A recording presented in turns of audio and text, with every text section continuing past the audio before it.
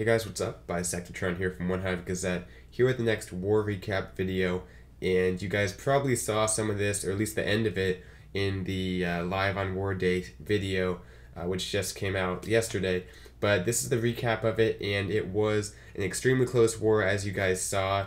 Um, a quick look at the bases. They got the top six two-starred, then they got some of our uh, nines three or sorry some of our tens three starred, including our nine point fives. I think it's us three or nine point fives, and obviously all the nines three starred.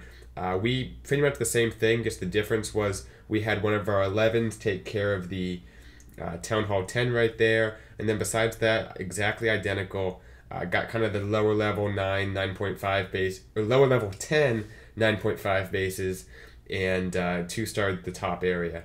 So anyway, we're going to take a look at a few attacks, and I want to show a Town Hall 10 hitting a Town Hall 11 because this is the kind of thing that frees up our Town Hall 11s to go down, three star the Town Hall 10s, which really makes the difference in the war a lot of the time. So it's important that uh, 10s can do this, and um, we're going to take a look at Terrace attack. Excuse me. Uh, drops down the healers first, actually, which is kind of cool, just to make sure that the, as soon as the queen goes down, uh, she's going to be healed, because obviously the healers won't go anywhere unless there's something to heal. So anyway, goes ahead and drops that rage. I'm not sure how she was supposed to go, because she takes that out, then she goes back the other way after she deals with these CC troops. Um, so I guess the rage worked out nicely, though, because he would have needed it anyway. There's the two point defense right there. But comes in with the golem, a few wall breakers. That eagle is active, and as soon as that eagle gets fired up, you know you got to be coming in quick. There's not a whole lot of time to spare because it will destroy your attack if you wait too long. So pretty quickly makes that funnel. The queen on the uh, bottom side, the king and the golem and the wizards on the left. Comes in with the Valks here, has the nice rage. Just let them go right through the wall, and then has a couple freezes to deal with both the uh, Inferno and the Eagle actually misses that one Inferno, but uses the other freeze to get the Inferno and a few Teslas. So successful there for the most part, and that core is obviously going to be cleared out very quickly, especially with that second Rage going down. So uh, anyway, everything's taking a lot of damage right here, and it's going to peter out, but he has just enough to get the uh, two star secured, and it helped that the Eagle went down because it can't target some of these minions and archers, and you can't always count on that. So sometimes you want to get uh, the minions and archers down at the beginning if you can, but obviously not. You can't always do that because there's defenses in the way. So anyway, awesome attack to Terrace, getting the three star, and actually that's kind of what free. I guess you could say freed up Vietha to go down and get that one because uh, otherwise the 11s have to try to two star these bases and that eases up some of their attacks. So anyway, you guys saw a lot of the Town Hall 10 3 stars in the last video, so if you haven't watched that, you can go back and watch that and see all of them happen live. Or most of them, I missed a few, because they attacks happen simultaneously, but anyway, there's still one Town Hall 10 3 star to look at. And this one is Thor coming in here against a pretty solid uh, Town Hall 10 base. It has these max archer towers, has the high level heroes, and uh, I guess the Max Infernos. I can't see anything else. That's the Wizard Towers too. So um, it, it, this base is pretty taken care of. Just has those cannons and the uh, X-Bows under leveled, and uh, looks like this attack was pretty quick actually because we're only just starting in about two minutes. And uh, I guess he just ran right through the space. You can see he actually has 12 hogs. So I mean, not just a pure Valk attack by any means. But anyway, the queen goes down. Uh, she's going to take care of that compartment right there. Nice little funnel by the wizards. Uh, nice and safe, making sure that she's not going to go up top there. I don't think they get that elixir storage, but it doesn't matter anyway. She's making her way around the base and uh, already coming in with the king. A few wizards. That's kind of what I've been seeing lately. No golem. Just come in here with the king on the other side, create a funnel, and go straight in. Has the P.E.K.K.A. in the CC which is interesting, but I guess he wants a little more DPS uh, to take care of some high HP buildings and maybe some more hit points for whatever reason to help tank for the Valks or whatever. But a nice little touch, I guess. I think it worked out pretty well. Comes in with the Hogs, doesn't have any heals left. He used them all on the Valks to clear out those uh, kind of middle two compartments. But you can see the Hogs are doing just fine with everything tanking for them. Lava Hound in the CC isn't going to be much of an issue for them, although the Queen is going to target it. Unfortunately, the king and the Valks, or the king and the P.E.K.K.A., I mean, kind of peeled off here, but he still has the Valks. The healers got on the Valks, which works out great because the queen doesn't need them at the moment. And uh, you'll see the queen is about to bust that lava hound, but has the poison down, which helps a little bit against lava pups. But to be honest, the poison doesn't really do much because they're so flimsy anyway. Uh, I mean, they're getting one shotted. It's just the number of them that's an issue. Anyway, though, the queen is taking quite a bit of damage here, and the he- there's only one healer left up due to I think air defenses. Uh, that P.E.K.K.A and the king obviously going around, and the king still has his ability, so that's great. Um, right here, no issue on time, even though everything's kind of going around in a weird way, because as you saw, it was a two minute attack. So, anyway, the healer will get on that P.E.K.K.A and just give all the troops a little bit of love as they go around, but has the king's ability in the bag still.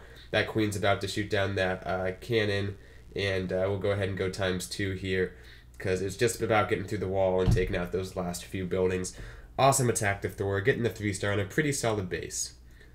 Okay, let's take a look at some Town Hall 9 attacks, and I'm going to mix it up, not going to be, you know, Valk attacks. I don't know if I have any Valk attacks in here, actually. We're going to take a look at three of them, and I also have some attack strategy uh, attacks that I'm saving for that kind of video. So there was quite a few of a certain type of attack, and I'm not going to say which it was, but uh, I will say that you'll probably be seeing an attack strategy video coming out soon uh, on a certain type of uh, part of an attack. So just stay tuned for that. I'll see when I can get that out, but I'll get those recorded soon. Anyway, though, uh, on this one, it's Nano John, he's doing the Golem Avalanche attack. I still see these dead zone bases all the time, even in you know high level war clans, and uh, they can just be beaten by this attack if you do it right for the most part, especially if the Teslas aren't in the core, because uh, sometimes the test that sometimes the Teslas can be in the core, sometimes the Teslas kind of a tongue twister, I guess sometimes they are in the core, and that can throw off the attack a little bit. But I don't think they are in this one. Has the poison for the CC troops. One thing you always want to do, and I, I saw an attack fail because of this pretty recently.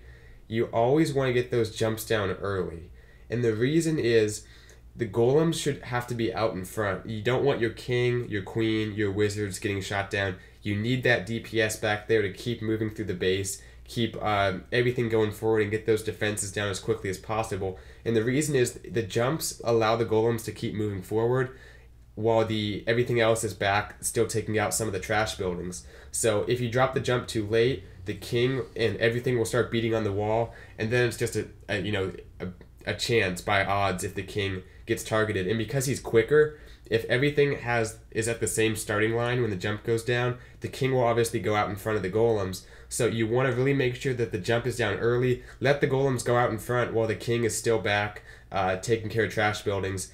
Because typically you're not going to run out of time. You're not going to run out of time on the jumps. They last they last for a pretty decent amount of time. So get the jumps down early is what I would say. But anyway, it was a good attack here by Nano John. I think his jumps were pretty solid on their timing. And uh, if you finish with that many wizards and the queen still up, you've done something right. I like the few extra hogs. He didn't really use them that much, but uh, they were there if he needed them to target certain defenses. Anyway, nice attack from Nano John. All right, uh, 22. This is Nate coming in with a just traditional, couldn't be more standard uh, shattered uh, Golaloon. And is it shattered? Yeah, I think it's shattered.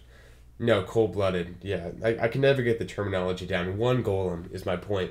One golem, four lava hounds. Very standard, what you used to see uh, kind of in the a little while back in Clash of Clans before the Valks were powerful and uh, before people started doing offset bases. But this guy decided to put his air defense right next to the queen, which opens up a lot of things you can do. You can even use lightning spells. But he just comes in here because uh, one golem plus his heroes is plenty to deal with the CC troops. Also, one thing you want to look for is if you can get some bonus defenses. He gets the sweeper, a wizard tower, and I think the queen will step up and get a few Teslas or something too. So great value beyond just the CC troops, the queen and the air defense, which are all musts for the, for this attack. They're all necessities. Beyond that, he gets extra value, which makes it easier on his balloons. And uh, you can see drops down the first rage to keep those balloons moving a standard just deployment like we've always seen. And look how far out in front that haste spell is. It might have been a little bit late, but that's how you want to drop it. You want to drop those out in front. Let them get the effect of it early because that way um, it'll still affect them even after they leave it because there's that de- the delay after they leave it. It's still affecting them, as you can see right there. And uh, that's why you want to get down early and let them get the effect as soon as possible of the haste spell. So does a good job propelling his balloons along, and uh, finishes it off right here. No air defenses left up, no wizard towers left up, which can be a threat when the balloons are all clumped up. So pretty easily the balloons go over there, get the last few defenses. Doesn't have a whole lot still up. The heroes went down, but has a bunch of lava pups and uh, a wizard to help for cleanup. Awesome attack to Nate. Let's take a look at one more base, and this was kind of a fun attack and something that actually can work very well, especially uh, with how Valks are in the game right now. I do have one Valk attack. I said I might not have any. This is kind of a unorthodox attack for Valks. You can see here it's pretty much exclusively uh, redheads, and he is not bringing any jumps or quakes or only four wall breakers, so not any kind of like uh, wall bypassing method here. So he goes ahead and lets the Valks kind of beat through the wall, and this is a good substitute, I guess, to surgical uh, GoWiWi or Golem Avalanche. It's a good substitute to that attack because it works well on, the, on the dead zone bases can work even better than the Golem Avalanche if you know how to direct your Valks. That's very important because without any jump spells or anything like that, you're taking a big risk because the Valks could go crazy on you. But if the if there's nothing in that core that's going to be too attractive to them, just a few builders huts, those two are touching, but they're kind of a little bit far away. As long as that's the case, the Valks should go out in kind of a circle, and you need you need these wizards, and you can even use a few other Valks that you don't uh, deploy to keep everything in the base. You don't want them leaving. And you can see right here, the king plus a few Valks all leave the base, but luckily all this trash is cleared out, so they have to continue on. The main group already went out in front, and um, because you're not bringing any jumps, you have you know up to four heals to use on them, and that's just insane uh, when you think about how powerful Valks are already. But Valks under heal, pretty much no section of the base can deal with them. He has so many still left up. Drops that next heal. Just now is dealing with the heroes. And um, I'm not sure if the queen was supposed to go in. I kind of missed that at the beginning of the attack, but it looks like she did just fine, and she'll step up, take out the enemy king actually. But anyway, uh, you can see by clearing out the trash buildings as the Valks went around the base, he made sure they all kind of stayed within the base and kept progressing in that clockwise or counterclockwise motion. So it worked out real nice. Look at how many Valks he has left up, just crazy. This is a very uh, powerful attack strategy, especially for dead zone bases if you prefer it over golems and wizards, but both work out very nicely. And we saw quite a few dead zone bases, whether it's the wall compartments or the like the wall pieces or actual trash buildings. They're both dead zone as long as they don't have any defenses in them. But anyway, a good war to the Black Road. Uh, they're a very high level war clan. Uh, check check them out real quick right there. They have a YouTube. Uh, apply online i think. I think they're part of a bigger family. I'm not that familiar with them. Uh, but you can see they're part of the fair play war community. So uh, it's always fun to get matched up with one of these clans. Wish it was during the weekend which is always makes it a little bit easier to plan attacks and really get the most out of it. But we still had a fun war and it was extremely close. So anyway good job to both clans. That's going to do it for this recap and what do you know? We have whf2 just got a random match with them again this week's going to be crazy, especially because we're looking to have an arranged war this weekend. So just an insane week as far as matchups go. But um, we'll see how this one turns out. You'll probably see a little bit of this one covered as well. But like I said, have that attack strategy video I still want to do from some of the attacks from the last war. So stay tuned for that and possibly some WHF2 coverage later in the week. Anyway, thanks for watching, and I'll see you guys later. Bisectatron.